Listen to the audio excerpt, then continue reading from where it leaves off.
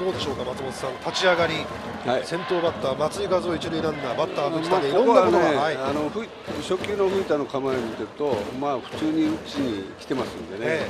まあ、あーカウントによってはこう足を使った攻撃をしてくるんじゃないですかね。はい。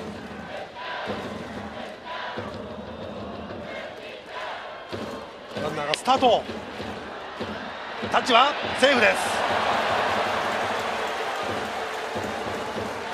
松井和夫がこれ2球目でスタートを切ってきました。